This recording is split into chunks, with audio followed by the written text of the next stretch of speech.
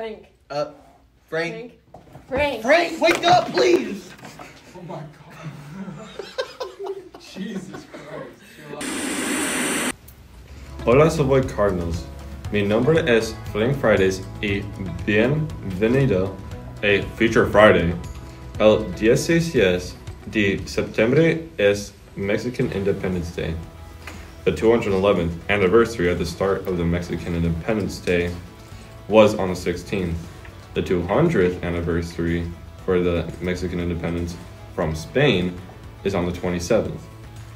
Now it's time for the Students of the Week and Teachers with Wanda Weekly. Thank you, Frank Fridays. I'm Wanda Weekly, and here are your students of the week for the third week of the school year.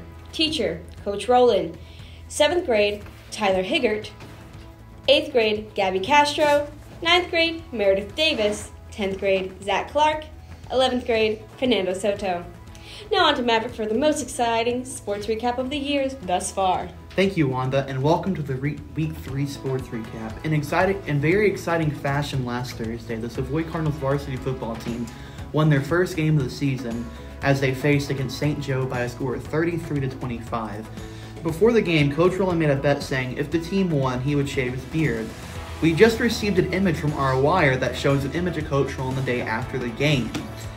Here for the first time, we are showing you that exclusive image as Frank Friday pulls it out with his purse.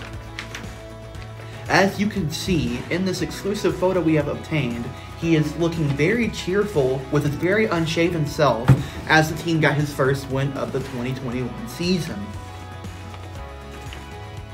Thank you, Frank Fridays, for obtaining that exclusive photo. Thank you for watching Week 3 of Feature Friday. Stay tuned next week where we'll we will feature the upcoming homecoming week activities. Happy Friday, everyone. And go, go Cards. Cards.